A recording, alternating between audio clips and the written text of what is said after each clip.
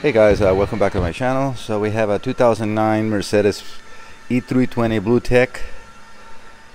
This is uh, this car belongs to one of my subscribers, uh, Mark. Thank you for coming and stopping by, and hopefully I can fix up your car. Uh, so the, his complaint is, uh, well, he loves he loves the car. He he had it not too long ago. It's a it looks like a really well maintained vehicle he said that he was driving to like Tennessee or something, you know, some areas like that, and he was, you know, starting to enjoy the car, go a little bit more free on the gas and so on. And then uh, out of the blue, the limp mode uh, showed up into the cluster. So he had a, a launch code reader. Uh, it's a little bit more than a code reader, so he was able to erase the code and keep going. But you know, since then, it's been happening.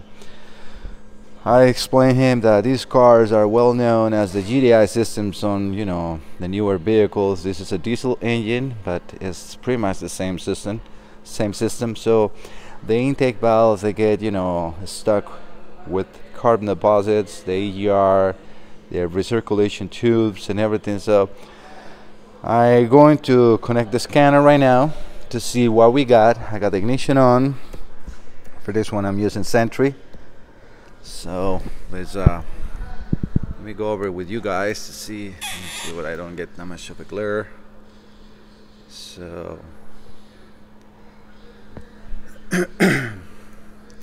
Let's ID the vehicle first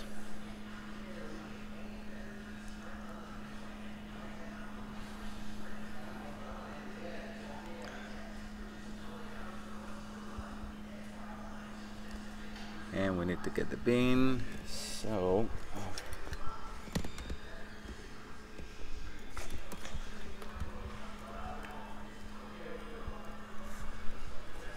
just gonna take a little.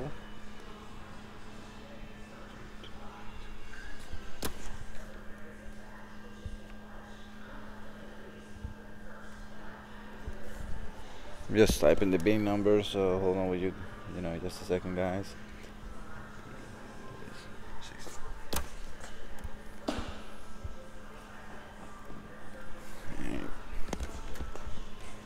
continuing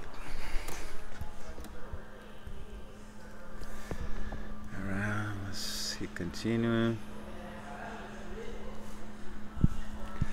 All right, that's the type of engine type of transmission.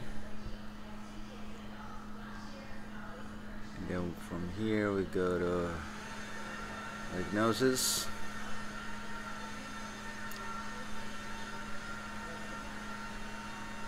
we don't need to read all this.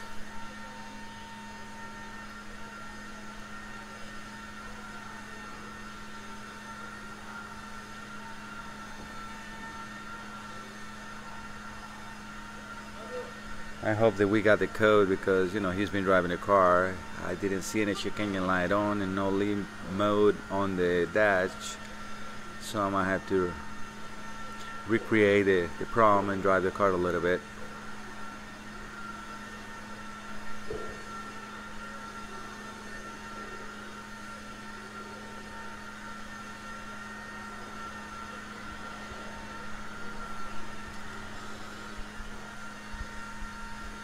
Uh, come on.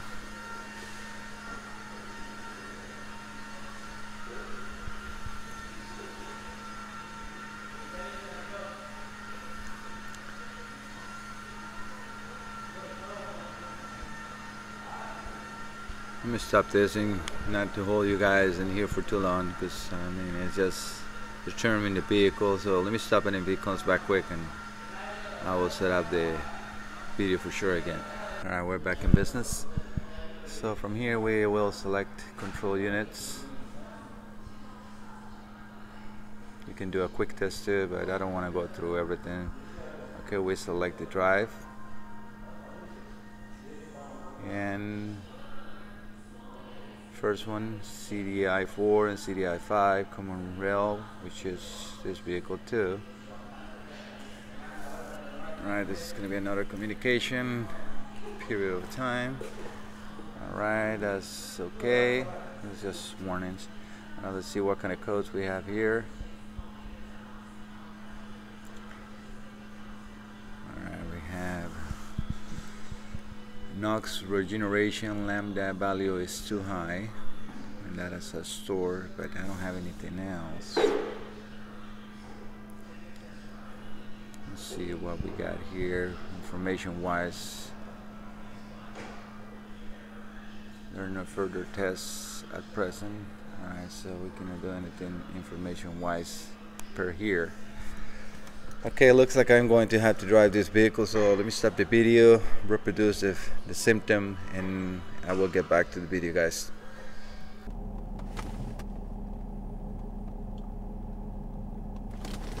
Alright guys, I switched the gears a little bit. I'm going to use the Autel for this one just because it's easier. Less cables, less bulk. This is just the tab, so I hope it's not going to be too shaky. I got the camera hooked up to the sunroof with a suction cup. Now let's get the card ID.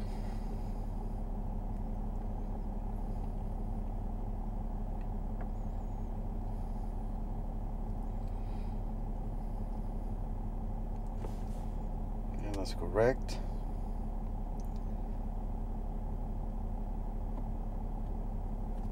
Check that out the door.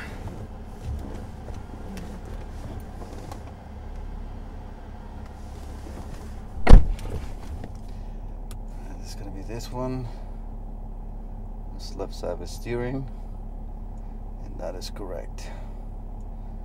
We go to diagnosis.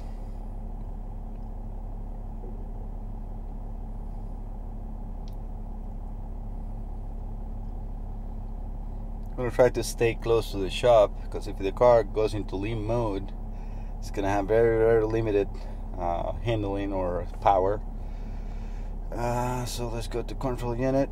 Again drive. We're gonna go here. Car has a very beautiful idle. Again there is no check in line now. That NOx uh, code it was just in history. Yeah it's a store so I'm not going to use that one yet as a part of the problem which is most likely is but this value too high can also be part of a fuel trim issues or something else so let's go to the live data. Let me see what we will correct here I mean pick up here. Running it smooth. Pressure control. Check the boost pressure control. Engine and idle so we can check the boost pressure right now.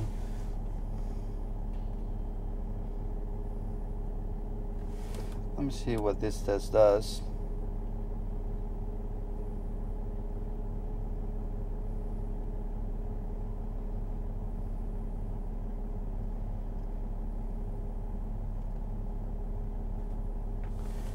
select the pitch we want to see. Check that. Pressure.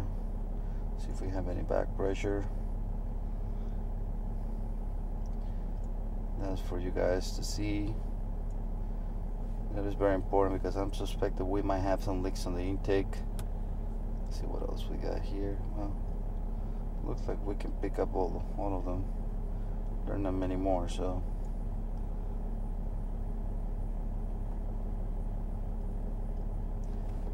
What did this do?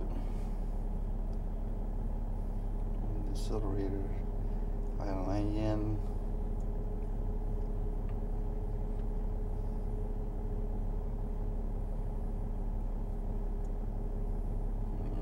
Mm, that's not what I want to go. One second. Because I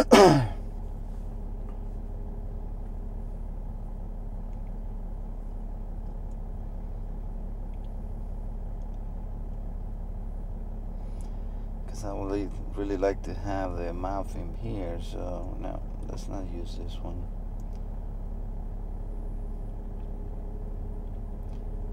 Shade engine and idle speed is store engine. This is protocol check the high pressure control. And for real pressure control operating point depends so no check the EGR engine coolant temperature and you know briefly blip the throttle. As achieve again the balance shall be within the specs for round. Let's see what we got here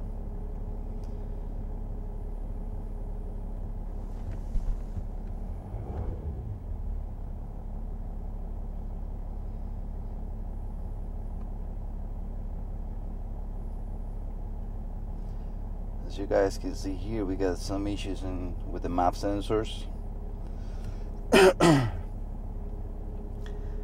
It should be between 213 to 253 250, 215 to 255 that's why they're in red. As you can see that is idle. So that for me we have some meter air meaning that we have some leaks all right, so do we have anything else in here? No. Nope. All right, so let's record this. I'm gonna use this uh, Daedalus because we had boost pressure here, which is the bottom one. It's still, you know, considered in between right values. I don't like the ones in the map sensor, so let's go for the test, for the test drive. Again, I hope the camera is not shaking too much.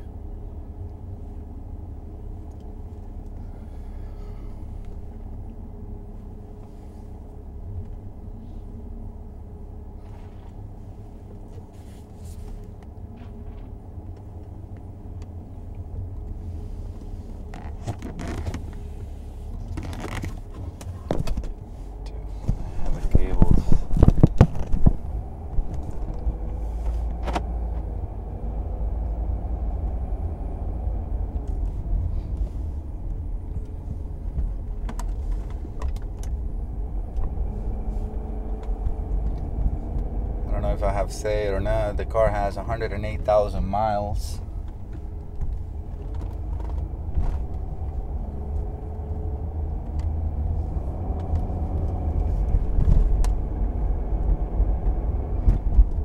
Feels very nice and tight suspension wise. I'm taking this back road from the shop, not taking any highway yet this new exit there uh, they just did over to Route 28, which is nothing, and there is no home, no homes or nothing. So it's a good spot for you know putting a little bit more of a throttle to the cars, especially with like you know limp mode or lack of power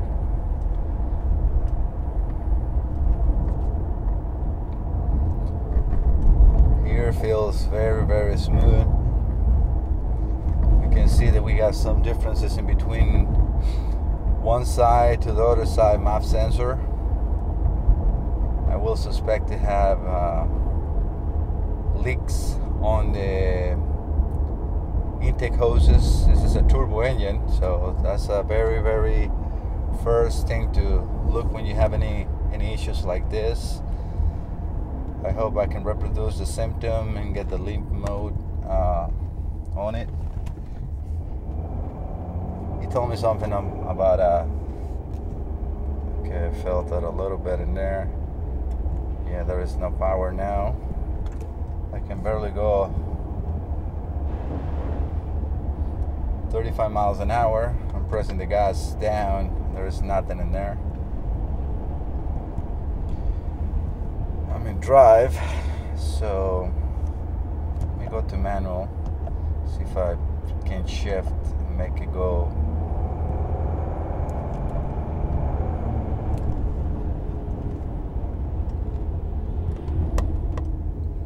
I'm gonna go around just back into drive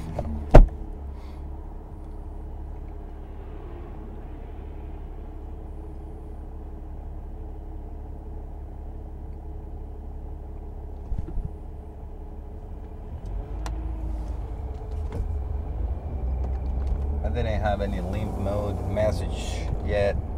Yeah, this is dead now. Let me go over to manual shifting.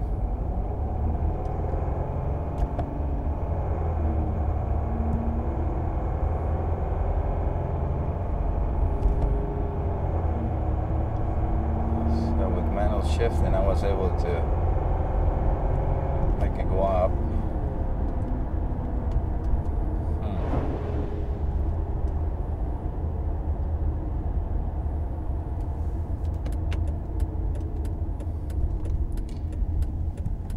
and now accelerator respond.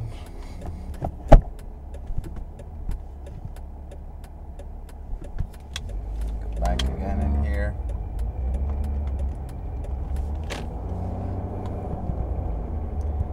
There's dead in there. If I let it on drive, automatic shifting, the car is dead. I like to know which gear is showing because if I go manual, fourth gear, third gear, it's high idle, and I can make it go.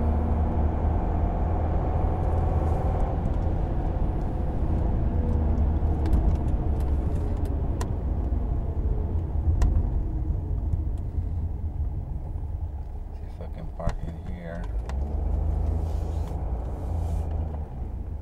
This is kind of like a rest part in here that I can use to pick up something else. Or let's uh, stop the recording. Let me go back to. I want to go over the transmission. I don't like that. You know, I just see the D. I don't know if it's in first, second, third, or fifth. You know, so let me see if the transmission is actually shifting or not. So let's go to live data, uh, shift programs, I guess.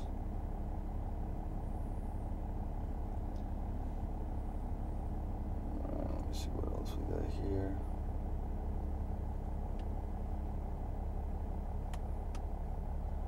So we got, you know, this I need. Transmission mode. Calculator gate is inactive because I guess I have the brake pedal on. Transmission temperature. I don't like this two not being read. Let's get that. And the emergency running. So let's show this and record this too. Let's see what we can see here.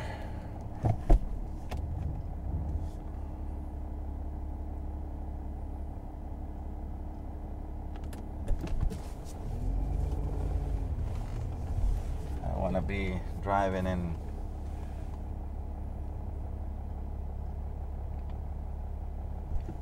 looking at the scanner at the same time. So I'm in drive. Again, nothing in there. Thing is, yeah, it's showing us I'm in fifth gear. You guys can see that. Went down to four manually. Third gear, fourth gear.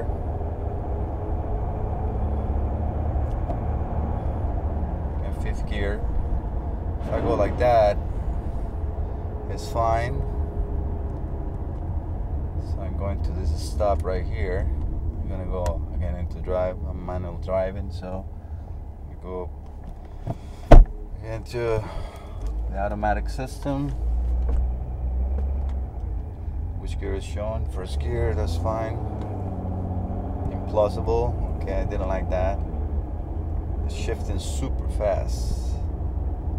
So that was not even 20 meters or driving. I'm in fifth gear. Implausible calculations, fifth gear, sixth gear. So we have another issue here. I'm in sixth gear. I'm driving at 40 miles per hour with no acceleration. So that's car tried to pick, you know, to pick up seven gear now. So that is weird, weird, weird. All right, now a stop.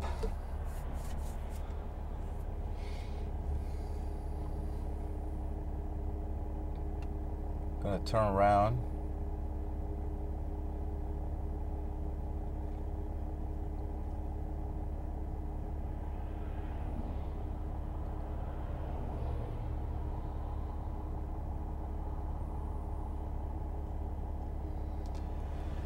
You guys take a look at this what it says inactive right now I got the brake on so right it's starting in first gear.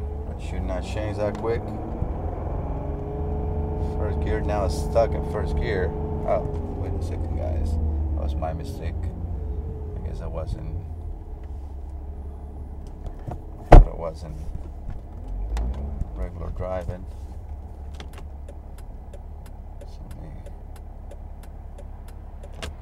here. Alright, so calculation, implausible second gear. See, it's switching too fast. I'm already in fourth gear. That, that should be, I'm driving 25 miles per hour and it's in fifth gear. So something is tricky here. Let me go back to the shop and see what we can read on the transmission.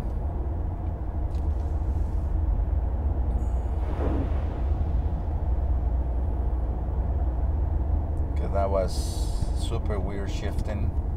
It goes from first to sixth gear in like three seconds. You can see it starts in first gear, first gear. See, it's going to third gear, which it should not really. And it goes to implausible. I'm driving 25 miles per hour, and it's going already in fifth gear. And that's why I have no power. Because if I go to manual, right here should be more like a third gear. That is four, and still now I got power, some power. If I go to third gear, I can raise it up. Four gear.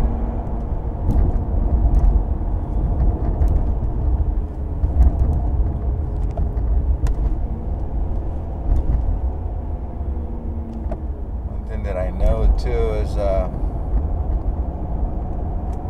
a little bit of a high RPM for the shifting when I'm doing a manual.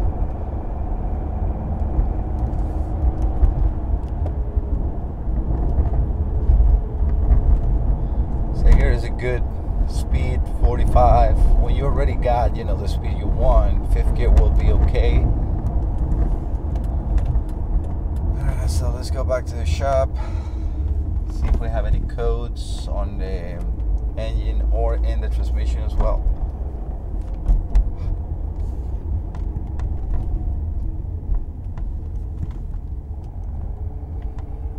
That is third gear, so I'm in gear inside the plaza where the shop is located. I'm driving 50 miles an hour, 1500 RPMs. You will expect to stay there. Maybe, maybe shift to third which will be still good and I still got some power if I do that with the manual shifting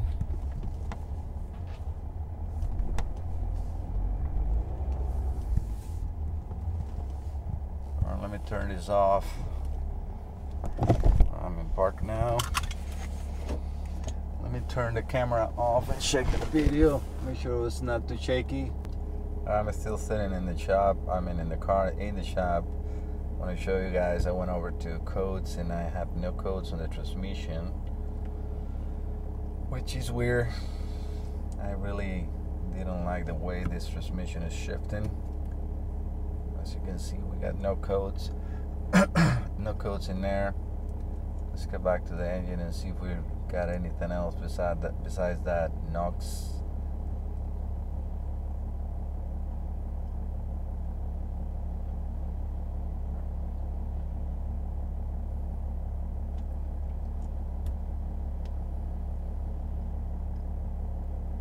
Okay, now we got something else.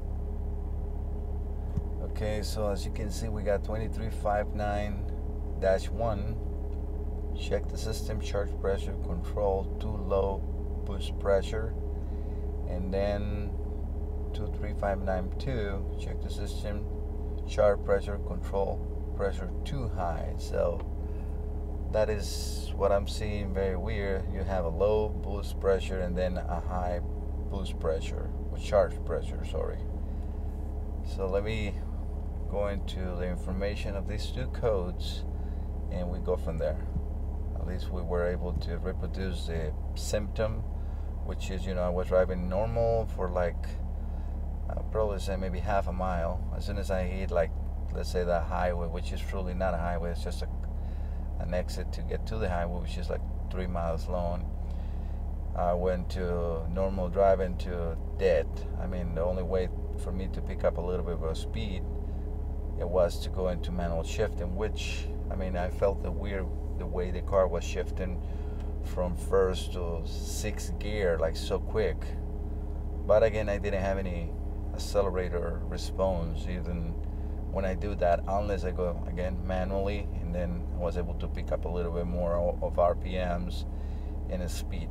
But as you see and there is no codes the transmission temperature on the transmission was fine uh, good thing about this scanner well I mean any other scanner does have it too. So you can go to data manager and you can go to review data.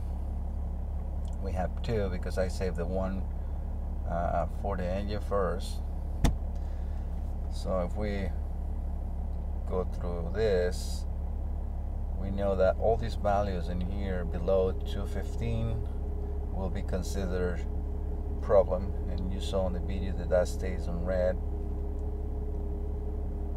Boost pressure.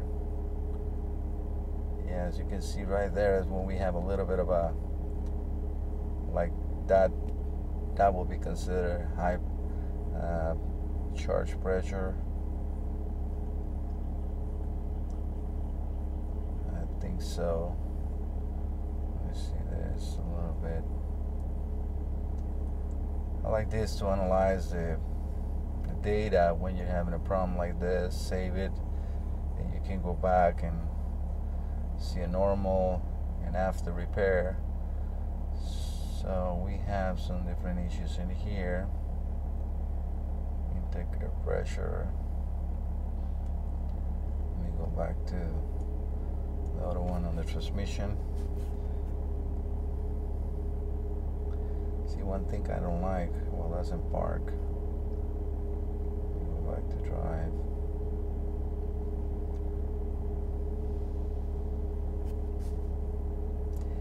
right there is what I don't like.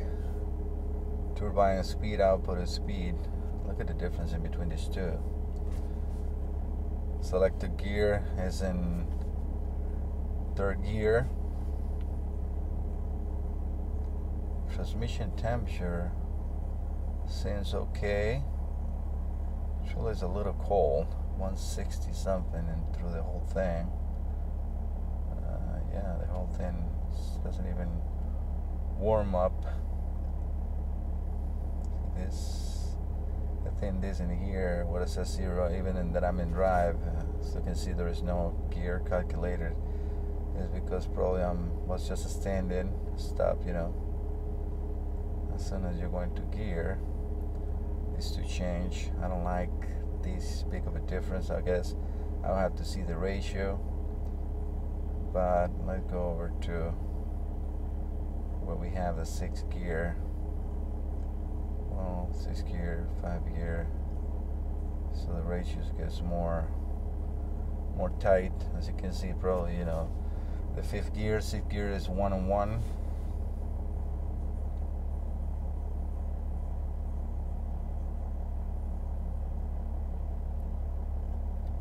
so we can assume that that is still considered correct and probably that's why the transmission is not setting up a, a code. I don't like that one right here. I mean, we're in between shiftings and then goes to implausible. And that is logic. It can be the plate on the transmission. Temperature is still considered fine, or it's always fine doesn't change much in the whole scenario. We can see the difference of gear ratio in there. And that's now right right now in the shop. So again let me let me go back to um, let me get uh, you know into Identifix and search for some information even I have Xentry so I can read those codes and see what Xentry tells me and when Identifix, uh, Identifix tell me I will show you that too. So let me just get laptops ready and uh, show you that guys uh, to you guys too. Okay. Alright guys, I got the Xentry computer on and I have also Identifix and I got the scanner right here which I record some of the information.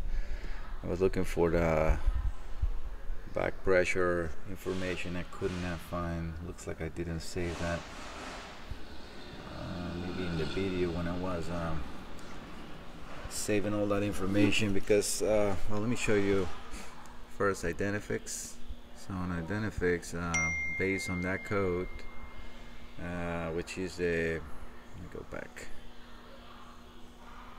Yeah if I look for the code 2359 which we have 2359.001 and 002 so an Identifix is a little um, ambiguous because it's just one code so we have uh, repair a boost leak after code for low boost was found. Now have code 2553 so that is different.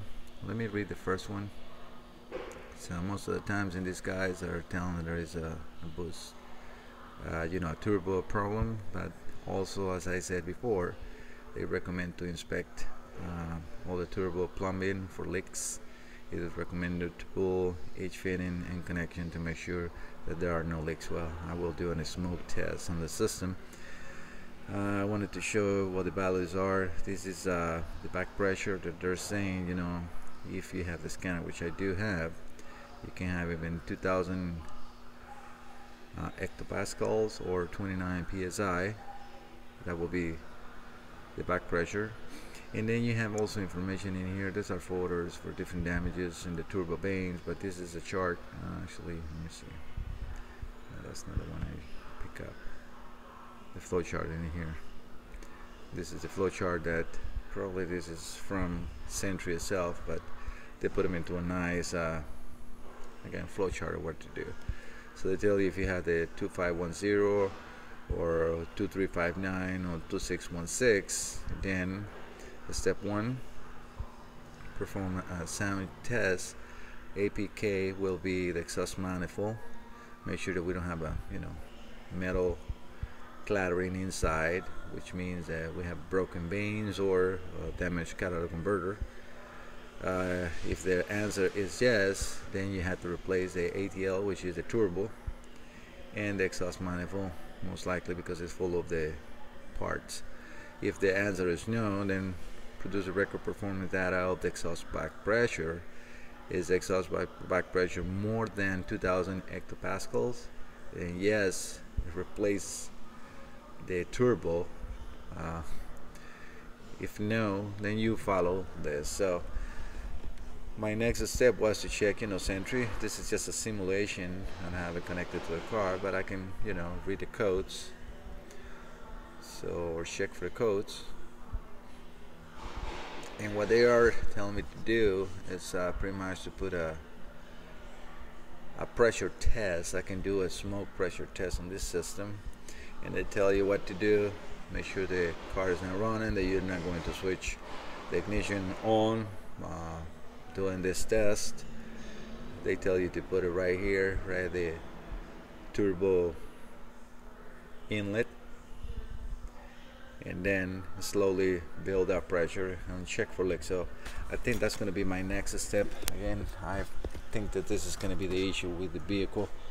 I didn't like the way the car is shifting no matter what so but let me do this first and we go from there. So I'm going to set up the smoke machine on the car and I'll set you guys on the camera so you you can enjoy watching me work too. Alright guys uh, back in the car um, I have the scanner right here so it's kind of like to zoom in. Alright so we're gonna go over to live data. I was reading the information on um, Identifix and uh, Xentry that you know these uh, exhaust back, back pressure the boost pressure the intake air pressure they should be and the atmospheric pressure they should be very close in between each other no more than um, oh this is changing because the engine is a little hot so and it's atmospheric sorry. Like around 40 hectopascals difference so we are in between that range. That is a way that you can check for a, a damaged back pressure sensor boost pressure sensor or so on so then the next text that I want to do before taking intakes apart and putting you know a smoke text uh, smoke smoke test machine in here. Sorry I'm a little tired. Long day so I wanted to see the movement on the vane or booster vane control motor which is this one right here. That's an actuator. So for this one we need to start the car. Let me turn it on. Uh, the car is running. For experience uh, the car is going to look to do uh, well before that I want to also show you because on the test drive I found some other things that I didn't put attention on before look at this value on the uh, back pressure uh, reading again on Xentry and uh, an Identifix. You have to be very careful when you're doing diagnosis on this system. This uh, has a DPF uh, system, which is diesel particle filter in it. If that gets clogged, it will give you lack of power, limp mode. So you have to be careful with that too. Alright, so um, I know on the ballast is a little hard to, know. Let me show you the test that I want to do. Is just live data. Let's go over to uh, active test. And in here we're going to pick up the Y77 slash 1. That's a boost pressure actuator. Get you guys close to close to the car. Sorry for the noise. Let me put some light in here so you guys can see. So what we're going to be looking for, again, uh, the engine is going to go up to 1400 RPMs by itself. So you got to follow the step-by-step -step, step on the test and then you're going to see the mechanism work. So first of all, I'm going to get into the test so you guys can see it. So we got the 1400 RPMs in there. So what you got to do is first press the F3 then F4 and then abort. So with F3 we have to see a drop on pressure. I'm to pressure, I'm to press it. And we're seeing that, you know, the pressure on the push is uh, coming down. Now F4 should raise it up. I heard an engine difference in there for sure. So these tell me that at least the mechanism on the turbo and the vanes itself right now are moving moving good. You can abort by uh, pressing F12. And now I'm going to show you the mechanism. Hope you guys can hear me. So I'm going to press the F3 first again. And then you saw that the pressure dropped. And I'm going to press F4 now. I don't see. So right now we are in F4. Again, press the F12 to abort and then escape. That is going to make the idle come to normal. So at first I thought I was having a little bit of a you know binding on on the vanes because of the codes we have but it's not the case. It's moving back and forth freely. I even removed the linkage by, you know, don't. One thing you have to be very careful when you're doing uh, tests is never move that lever with your hand. Otherwise, you will be damaging internal gear. So if you guys cannot hear me, I'm going to repeat. Uh, you know, when you're doing this test, it's only with the scanner. Don't ever move that linkage with your hand otherwise you're gonna uh, damage the actuator gear inside. So be careful with that. And I was saying that I removed the linkage. It has a cotter pin in here right there that you can remove without you know moving here just gonna move the link. And I couldn't feel couldn't feel any any problem with that. So let me turn the car off. So we get less noisy. And I'm going to show you guys also one of the recordings on the test drive. Let me get out of here. That was a test so for me that test passed well. Um, so we go over to here. We're gonna go over to uh, data manager. And then we have here. Hopefully this is the one. Let me see. There's pressure. Let me see if this is the one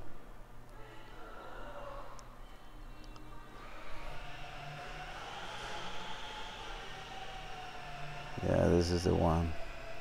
It's gotta find that sweet spot so. What I wanted to do I'm focus you guys on on these uh, back pressure sensor. So I'm going to put you know gauge. So you can see the values. Maximum is 4700 at least with the gauge look at right there. Okay so that's perfect. We have in there 3891 hectopascals I hope I'm saying that correctly. Forgive me if I'm doing if I'm saying it wrong but as far as the manufacturer is telling me to never have more than 2000 hectopascals this is like 58 pounds of back pressure. One other thing that I wanted to see um, let me go back to normal. I don't know if I no I didn't save this